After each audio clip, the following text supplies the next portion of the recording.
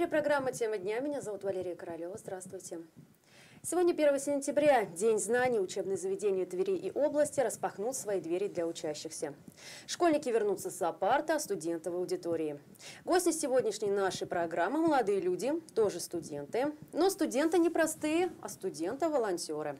Молодые люди, которые внесли в свой вклад в борьбу с коронавирусом в период пандемии, они работали – они доставляли продукты и лекарства пожилым людям, многодетным семьям, а также помогали медперсоналу, когда шел процесс перепрофилирования больниц в инфекционные госпитали. Сегодня, э, сегодня мы поговорим о том, как они работали, какую помощь оказывали и кому, и с какими сложностями столкнулись, а также готовы ли они повторить свой подвиг. Наши гости расскажут обо всем том, что незаметно на первый взгляд. Итак, в гостях у меня сегодня студент шестого курса педиатрического факультета Тверского медицинского университета, руководитель Тверского регионального отделения Всероссийского общественного движения «Волонтеры-медики», волонтер Марк Ефременко. Здравствуйте. Студент пятого курса педиатрического факультета Тверского медицинского университета, волонтер-медик Николай Мусин. Здравствуйте.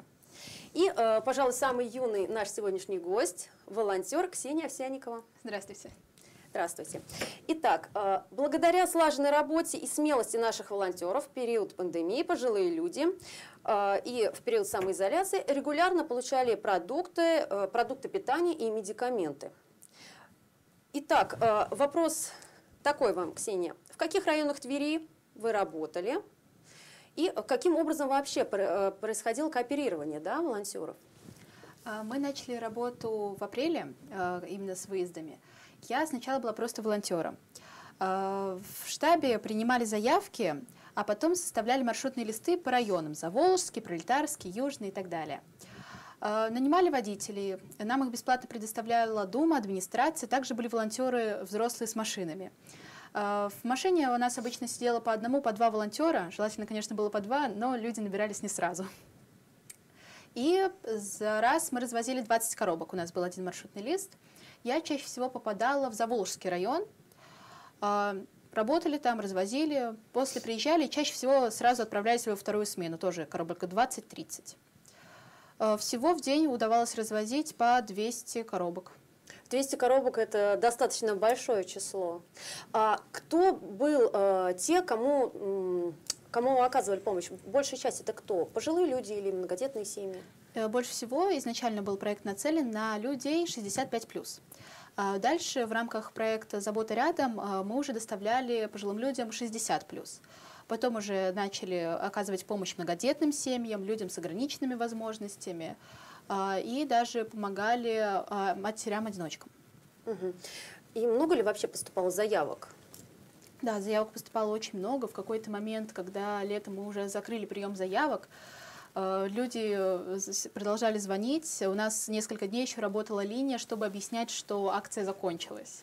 Всего в Твери мы оказали пожилым э, людям 6 э, тысяч у нас было отправлено коробок по области 32 тысячи. А, и еще 7 тысяч по области э, людей другой категории, как раз многодетные, э, люди с ограниченной возможностью. Угу. А, расскажите, сколько вас вообще на адрес выезжало, да? Сколько? Два-три человека, сколько обычно? Эм, из-за того, что работали несколько месяцев, когда была учеба еще весной, Чаще всего бывало, что некоторые водители и сами э, выезжали одни. Это нам, если повезло, и водитель также, также был волонтером. А старались все-таки водителю хотя бы одного волонтера сажать дополнительно, потому что и коробку взять, и стул э, взять, у нас же была э, бесконтактная передача, и антисептики, и маски, в общем, тяжело было.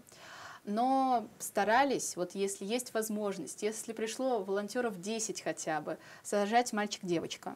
А, чтобы один нес коробку, коробки достаточно тяжелые, другой стул, звонил по телефону. Не все же дверь открывают по домофону.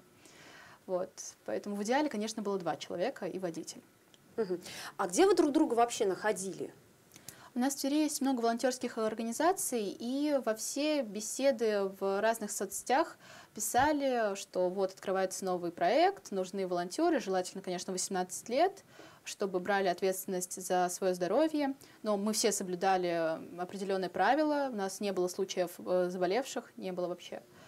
Поэтому, думаю, мы все справились, даже те, кто был младше. А, Ксения, я вас не зря назвала самым юным сегодняшним э, гостем. Вам всего 17 лет. Вы учитесь в 11 классе. Да, вот. А, собственно, вопрос, много ли у вас таких было?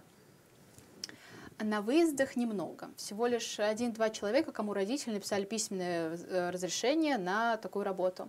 Но у нас же не все коробки были изначально готовыми. А, долгие месяцы мы фасовали их сами. И туда уже приходили помладшие ребята. 16 лет были ребята из колледжа, э, также соблюдали все меры э, предосторожности, носили маски, перчатки пользовались антисептиками, но там уже были не все совершеннолетние. Я не могу не отметить, что э, все это происходило, да, ваша добровольческая миссия происходила э, в период дистанционного обучения. Да, было такое. Расскажите, как это сложно было вообще все это совмещать? Было сложно, потому что, во-первых, была нагрузка намного больше. Надо было пройти самому все, что проходили в школе, так еще и домашнее задание. А, во время дистанционного обучения я была только несколько раз на выездах. Потом уже, когда в мае и э, летом э, стала куратором волонтеров, я удивляюсь, как ребята находили время. Была одна девочка, она пропустила лишь один день за всю нашу смену, за, за всю нашу работу. И она говорила, что да, было тяжело, но она заканчивала девятый класс, ей было полегче в этом плане. А, говорила, первую половину дня учусь, вторую бегу к вам. Угу. Сколько человек э, за день успевали, в принципе, посетить, да, сколько семей? А, когда летом мы уже не укладывались в сроки, уже на нас ругались, что надо быстрее, надо больше, старались по 200 человек в день. А так было всего лишь и по 50, э, и по 60, э, иногда не доходили до сотни. А, столько человек в день, это нужно работать с утра и до самого позднего вечера, как минимум? Нет, у нас была смена по 3 часа. Сначала были по 4, угу. но их сократили, потому что работать тяжело. Две смены. С 10 до часу и с часу до 4. А, приезжали водители, некоторые приезжали в одну, некоторые в две смены тоже, как успевали. А, и волонтеры тоже некоторые оставались на одну, некоторые на две смены. То есть работать можно было по выбору. Угу. А какие вы испытывали сложности, может быть, недопонимания какие-либо? Сложности были, столкнулись с проблемой, во-первых, э, очень много домофонов не работает, вот процентов 50. Где-то сломаны кнопки, где-то еще что-то. Э, по статистике также, если это пяти, э, пятиэтажный дом, то обязательно человек живет на пятом этаже. А, закон подлости. Да, закон подлости. Где-то нет номеров квартиры, то есть ориентироваться в городе было тяжело. Плюс э, столкнулись э, с проблемой, если дома строили немцы, например, как э, нам рассказывали, подъезды в другую сторону. Тоже там сначала доходили не туда, пару раз путались с домами, потому что не было где-то навигаторов у водителей. А, иногда приходили люди, а, мы приходили к людям, а они говорили, что они коробки не заказывали, им заказывала соседка, которая решила, что тоже надо. Ну, естественно, возвращали и уже отвозили действительно нуждающимся людям. Расскажите, как вы защищались и вообще боялись ли, были какие-либо страхи, еще что-то? Ну, для начала, как мы защищались. А, каждый волонтер, когда приходил на смену, мерил температуру, записывал в журнал, брал перчатки, маски несколько и антисептик. На выезд мы э, ездили так. Брали с собой стул, коробку, звонили в домофон, поднимались на нужный этаж, ставили стул, обрабатывали сначала его, потом ставили коробку, обрабатывали антисептиком коробку, а, отходили на дистанцию полтора метра, а, уже выходил человек, забирал коробку. А, когда закрывалась дверь, мы складывали стул и уже спускались вниз. И также в машине надо было регулярно обрабатывать руки антисептиком. Поэтому все меры соблюдались, без них было никак. Страшно не было, потому что сначала для меня не было заметно, что пандемия началась. Где-то, да, родственники из Москвы звонили, говорили, что вот карантин, их закрыли, не выходят из дома. А у меня родители вынуждены были продолжать работу, то есть они также каждое утро уходили, я оставалась с братом. А, решила, что вот новое волонтерство, тоже можно попробовать. И как-то из того, что в городе у нас не было строгой самоизоляции, а, люди все так же выходили на улицу, первое время вообще не чувствовала, что что-то изменилось. Потом, да, конечно, когда видела цифры, когда видела статистику, стало немного страшнее, но уже было поздно отступать. Угу. А как отнеслись ваши родители, родственники, друзья к тому, что вы записались в добровольцы? Ну, друзья очень были сердиты, злые, сказали, что мы с тобой больше не встретимся. Вот пока ты через полгода нам справку не принесешь, что ты здоровая, будем видеться только в зуме. Родители спокойно отнеслись, сказали, что да, помогать надо, ты у нас не заболеешь, мы-то уверены. А, девочка здоровая, поэтому да, иди, можно. Главное, береги себя. Ребят, э, к вам тоже тот же самый вопрос. Э, вы тоже волонтеры, более того, волонтеры-медики. Как э, ваши родные отнеслись, что вы в красной зоне работали, да, и помогали при перепрофилировании больниц в инфекционные госпитали? Это же тоже тяжелая работа. Здесь могу сказать так. Я с 2011 года являюсь волонтером. Для моих родителей был не секрет, что если случится какое-то ЧП, я пойду помогать. Соответственно, начался ковид, естественно, я и как студент-медик, и как волонтер-медик не мог остаться в стороне. И буквально за сутки мы развернули наш оперативный штаб начали свою деятельность. А, Марк, а вы как раз-таки принимали участие в перепрофилировании больниц, да? А, расскажите, в каких больницах вам довелось поработать? И много ли вообще, в принципе, вас собралось? Давайте тогда расскажу вам такую нашу историческую ковидную хронику наших действий. 20 марта мы впервые к нам поступила просьба от Калининской ЦРБ с просьбой о помощи, помочь им все перенести, пересчитать лекарства, все это организовать, потому что больницу нужно было срочно перепрофилировать из простого стационара в ковидный госпиталь. Э, в этот же день к нам обратился главврач 6 городской больницы, позвонил нам в ректорат нашего университета и попросил тоже срочную помощь, потому что их тоже перепрофилировали в кратчайшие сроки под ковид. Мы собрали оперативную группу, наши ребята-студенты выехали туда, и мы начали им помогать. Буквально за три дня эти больницы уже стали ковидными госпиталями и начали свою работу. Здесь, я думаю, большое было подспорье для нашей области, потому что сразу же людей с выявленным ковидом отправляли в стационар, тем самым они переставали ходить по улице, и все это лечение и распространение инфекции как бы прекращалось. А, также мы помогали Министерству здравоохранения Тверской области в обслуживании горячей линии по вопросу ковид. К нам министерство выступило с этой просьбой 18 марта, и также наши студенты, волонтеры-медики отправились на горячую линию и вплоть до самой своей летней сессии, помогали там, обзванивали. Потом, к сожалению, во время сессии нам пришлось прекратить данный вид деятельности. Ну и горячая линия звонков стала поступать гораздо меньше, потому что, слава богу, эпидемия пошла на спад в нашем регионе. Ну и также мы, у нас был открыт на базе медицинского университета оперативный штаб помощи пожилым в рамках проекта «Мы вместе» по оказанию адресной помощи по федеральной горячей линии ОНФ мы принимали заявки, обрабатывали их. Если наши коллеги доставляли бесплатные продуктовые наборы, которые были уже сформированы, у нас алгоритм был немного другой и достаточно обширный. Нам поступала заявка. Э, сначала ну, человек звонил на горячую линию в федеральный колл-центр, там составлялась заявка, она поступала к нам. Заявка состояла из фамилии, имя, отчества заявителя и адреса. Больше, ну, и желает купить, э, чтобы ему привезли продукты или лекарства и больше никакой информации. После этого садились наши девушки-волонтеры, прозванивали каждую заявку и составлялись огромные списки продуктов, льготных лекарств. И, соответственно, дальше оперативные выездные группы ездили по всем магазинам города Твери, закупали все эти продукты и развозили их, соответственно, адресатам. А, также такие штабы мы вместе были открыты в каждом муниципалитете Тверской области. Также там осуществляли помощь и по адресной доставки лекарств и продуктов и по бесплатной продуктовой помощи.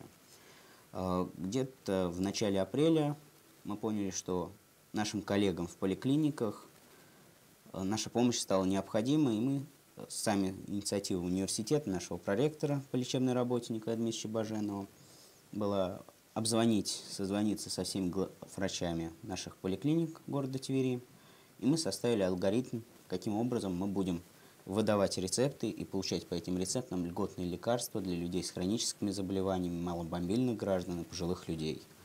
Это была тяжелая, скажу вам, работа, потому что если одно дело купить продукты, это тоже проблема там по списку согласовать, какие крупы, какие колбасы. Пожеланий много было, да? Пожеланий было огромное количество, курьезных историй тоже. Например? Вот.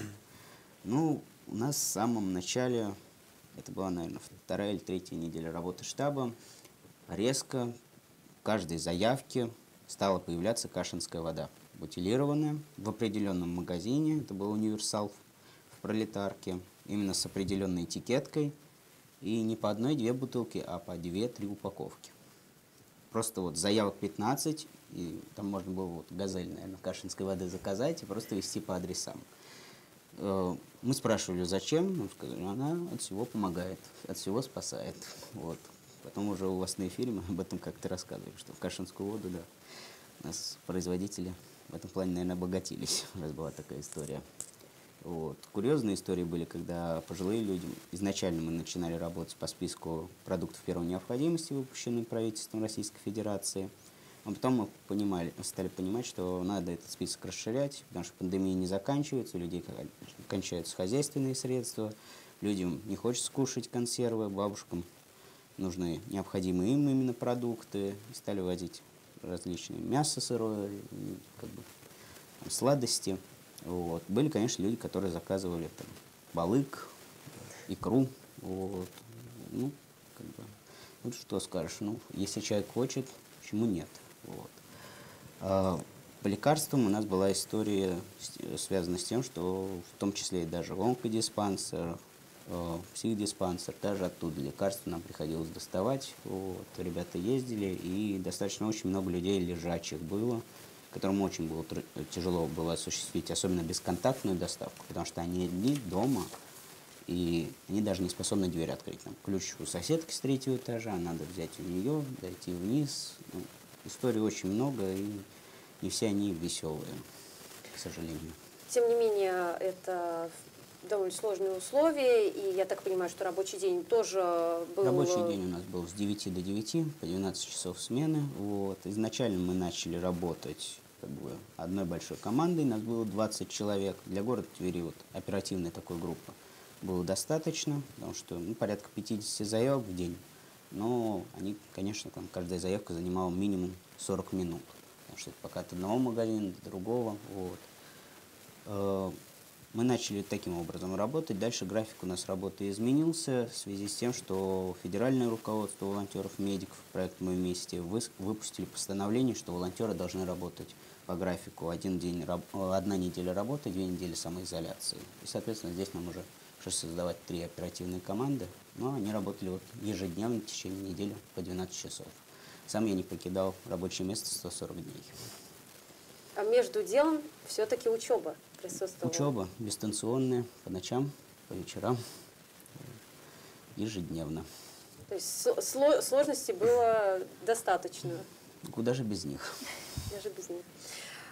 А, давайте вернемся к к вопросу перепрофилирования инфекционных mm-hmm. госпиталей. Э, расскажите, что вы там, э, какие вы обязанности выполняли, что вы там делали? Здесь требовалась именно физическая сила от наших студентов, медиков и минимальные знания там, в лекарственных препаратах, в техническом понимании, что вот данную коробку надо нести в процедурный кабинет, а вот эту данную коробку в санитарскую комнату, потому что ну, они видели, что там лежит, и понимали, куда это нести. Ну и к тому же, что знание самой больницы, потому что наши студенты обучаются на клинических базах, что в шестой городской больнице, что в Калининской ЦРБ, что в детской областной. И практически все больницы для них не были незнакомым местом, они приходили туда на пары, а теперь они им помогали перепрофилироваться. А в этом вопросе какие сложности возникали? Здесь сложности не возникло, здесь мы просто оперативно взяли это в свои руки и сделали. И, к счастью, это все получилось достаточно быстро. В рекордные сроки? Ну, буквально 2-3 дня, и больницы начинали открываться. А с, в, сколько вы так участвовали, в каком количестве? Все больницы, мы оказывали помощь перепрофилированию всем больницам города Твери, кроме областной больницы. Там у Сергея Евгеньевича все было хорошо, он сумел открыться. Без нашей помощи у него все было готово. И опять же, это все совмещалось с учебой. С учебой, с учебой, без отрыва, так сказать, от учебы. Все. все процессы волонтерской деятельности у нас ни в коем случае не пересекаются с учебной деятельностью. Человек учится, и если он хорошо учится, только тогда он волонтерит. И у вас э, сессия все равно совпала, да, с каким-то Сессия, периодом? у нас не закрылся штаб, как мы работали с 9 до 9, вот, два часа экзамен, значит, на два часа работу оставили, пошли, сдали экзамен, вернулись. К экзамену нужно готовиться? Ну, вот по ночам. Зачем ночи студентам-медикам, если не готовиться к своим предметам учебным? А, Николай, а, теперь а, к вам вопрос. Студенты-медики также были задействованы в красной зоне. Пожалуй, наверное, это самое трудное было. А, Поистине нелегкое испытание. А, Вы его выстояли. Расскажите, какова была обстановка? Когда мы начали работать, э, первые смены, у нас было практически никого. Я работал в детской областной больнице, на ее базе был открыт инфекционный госпиталь. Первые смены ребята заходили в зону и просто ждали. Ждали того, что к нам привезут первых пациентов, мы начнем их лечить, мы начнем помогать. Постепенно-постепенно количество пациентов росло, и росло оно не один, не два в день, росло большими количествами. И здесь уже работа по-настоящему закипела, как это показывали по федеральным каналам, как это показывалось в интернете, что врачи и медсестры, и санитары, все-все сотрудники больниц без устали работают. Как-то так. По 6 часов в красной зоне, по 6 часов в чистой зоне. Примерно так выстраивается график каждого медбрата, врача, санитара во время работы с ковидом. Э, Нельзя не упомянуть, что инфекционный госпиталь на базе э, детской больницы, да, он был открыт э, один из последних. Да. Расскажите, кто там лечился? Дети, взрослые, семьи? Несмотря на то, что госпиталь был открыт на базе детской областной клинической больницы, он был открыт для всех возрастов, но по пациентам, я сужу по своей работе, которые там находились, это были люди старшего и пожилого возраста. Детей у нас, слава богу, не было. Самый молодой пациент, который у нас лежал, ему было 27 лет. Мгм. А какие вы функции выполняли? Я работал на должности медицинского брата палатного. В мои обязанности входило ведение документации на посту, раздача лекарственных препаратов таблетированных, то есть это все таблетки, все суспензии, которые необходимо выдать по часам. Я проходил по палатам с контейнером лекарственных препаратов, по списку раздавал каждому пациенту лично в руки, и обязательно, обязательно это был контроль приема. Мы должны были контролировать прием лекарственного препарата, как пациент его принял и как он после него себя чувствует, потому что, к сожалению, бывают и аллергии, а это осложнение лекарственной терапии у больных, которым и так с ковидом тяжело. И которому еще дополнительная медицинская помощь какая-то, Конечно. же, необходима. А, Николай, ваш рабочий день строился как вообще? Утро в красной зоне, в костюме, это же тоже, да, защита сложности? Моя смена начиналась с 7.40. К с- В 7.40 я приезжал на работу, расписывался в журнале о том, что я не болею, хорошо себя чувствую, измерял себе температуру, проходил к старшей медсестре отделения. Она меня регистрировала, что я пришел на свое рабочее место и записывала, в какую смену я иду. То есть, если это первая смена, я захожу сразу же с 8 часов в красную зону. Если это вторая смена, то я заходил с двух. Дальше я проходил, переодевался именно в медицинскую форму. Если я захожу с 8, я одеваю защитный костюм, как мы смеялись, называли их касперы. Одевались, забирали с собой, что необходимо было пополнить запасы тех же лекарственных средств, либо каких-то еще ресурсов, тоже, например, бумагу, если она закончилась на посту, забирали с собой и начинали работать. Поднимались в красную зону, принимали смены, Спрашивали, что как с каким пациентом, есть ли кто-то тяжелый, кому надо срочно помочь, чем выручить предыдущую смену, если они не успевают, например, взять анализы. Потому что взять кровь из вены у человека в принципе тяжело. У кого-то венки хорошо видно, попал и все хорошо. А у кого-то они очень глубоко, это достаточно трудоемкий и длительный по времени процесс. Сложность, наверное, все-таки самое главное, это работать в этих костюмах. И лето-то выдалось, с начала лета у нас теплое довольно-таки. Лето у нас было крайне теплым, а костюм накладывает свой отпечаток. Как мы с моими коллегами говорили, нам повезло расположением коридора, где мы ходили. Он находился на несолнечной стороне, у нас были открыты окна, было, было проветривание, была циркуляция воздуха, и нам было комфортно в этом всем работать. К сожалению, палаты пациентов были на солнечной стороне, и когда мы заходили в палату, вот здесь начиналось пекло. Во-первых, тепло в палате, и это тепло сразу же дает отпечаток в этом костюме. Как только ты начинаешь в нем двигаться, в нем сразу же становится безумно жарко. И не только жарко, от движения начинают запотевать вот эти защитные очки, сразу же сужается поле зрения, и из-за этого мозг не понимает, что происходит. Почему я не вижу? Многие в интернете, э, тоже медики, студенты, делились даже лайфхаками, да, как, э, чтобы очки не потели, да, как их защитить вот э, от этого. За время работы мы перепробовали массу способов. Э, И популярное мыло, мне лично мыло не помогало. Пользовались средствами, которые называются антифок. Антифок мы отмели сразу, потому что его хватало буквально на 5 минут с первого на третий этаж подняться, и уже ничего не видно. Меня спасала, не поверите, пена для бритья. Намазывали тонким слоем, она высыхала, излишки мы убирали, и затем одевали и выходили работать. 6 часов выдерживал просто на ура.